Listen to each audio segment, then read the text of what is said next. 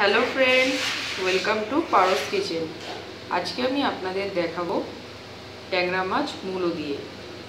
আমার রান্না যদি আপনাদের ভালো লেগে থাকে, তাহলে আমার চ্যানেলটি প্লিজ সাবস্ক্রাইব করবেন। ট্যাংরা মাছ মূলো দিয়ে বানানোর জন্য আমি এখানে নিয়েছি ট্যাংরা মাছ, নুন হলুদ মাখিয়ে রেখেছি। এদিকে আমি মূলোগুলোকে এইভাবে লম্বা লম্বা করে কেটে নিয়েছি। এদিকে আমি নিয়েছি পেঁয়াজ কুচি, টমেটো কুচি, ধনে পাতা কুচি, লঙ্কা চিড়ে রেখেছি, একটু আদা কুচি লাগছে, আর লাগছে স্বাদ মতো নুন, হলুদ গুঁড়ো আর জিরের গুঁড়ো। প্রথমে আমি কিছুটা তেল বসিয়েছি, তেলটা একটু গরম হবে।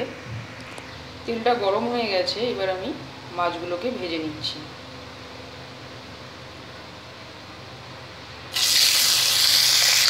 মাছগুলোকে ভালো করে লাল করে ভেজে নিচ্ছি।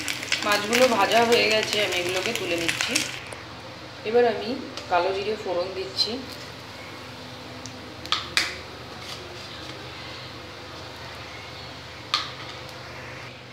এবার আমি মুলোটা দিয়ে দিচ্ছি। মুলোটাকে একটু ভালোভাবে ফ্রাই করে নেব।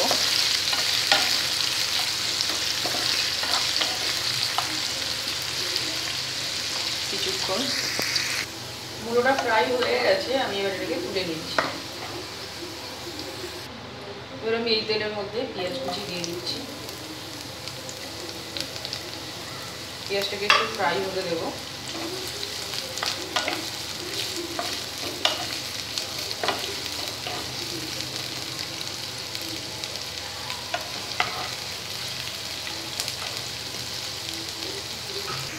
পেঁয়াজটা ফ্রাই হয়ে গেছে, এবার আমি আদা কুচিটা দিয়ে দিচ্ছি আর লঙ্কা কুচিটা দিয়ে দিলাম।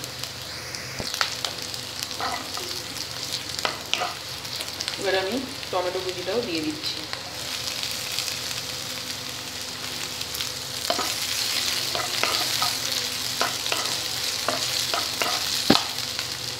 হলুদ গুঁড়ো দিয়ে দেবো।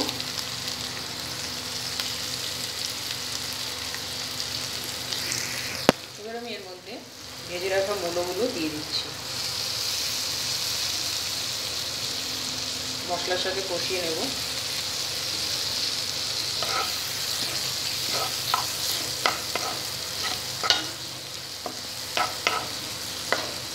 কিছুক্ষণ ঢেকে দেব। কিছুক্ষণ ঢেকে আমি টমেটোটাকে সফট হতে দেবো। এক মিনিটের মতো।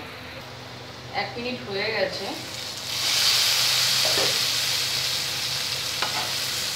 টমেটোটা সফট হয়ে গেছে। এবার আমি এর মধ্যে জিরের গুঁড়ো দিচ্ছি।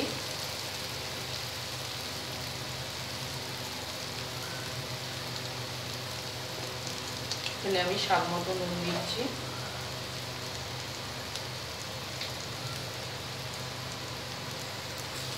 মশলাটা ভালোভাবে কষে গিয়েছে আমি একটু ধনে পাতা কুচি দিচ্ছি। পরে আমি দেবো এবার আমি জল দিয়ে দিচ্ছি।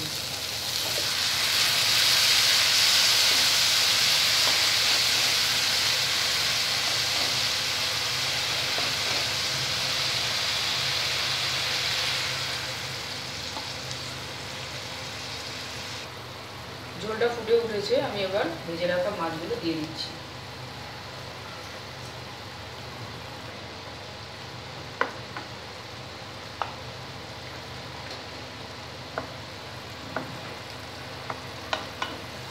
ফ্লেমটাকে আমি আস্তে করে দিয়েছি, এবার আমি ঢেকে দিয়ে রান্নাটা আমি পাঁচ মিনিটের মতো হতে দেবো।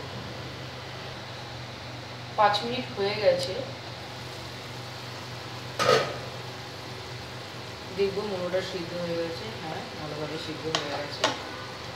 এবার আমি এর মধ্যে ধনে পাতা কুচিটা ছড়িয়ে দিলাম।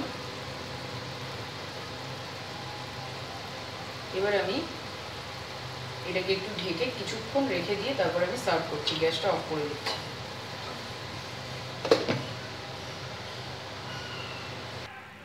মুলো দিয়ে ট্যাংরা মাছ তৈরি হয়ে গেছে। আমার ভিডিও দেখার জন্য ধন্যবাদ। আমার চ্যানেলটি প্লিজ সাবস্ক্রাইব করবেন।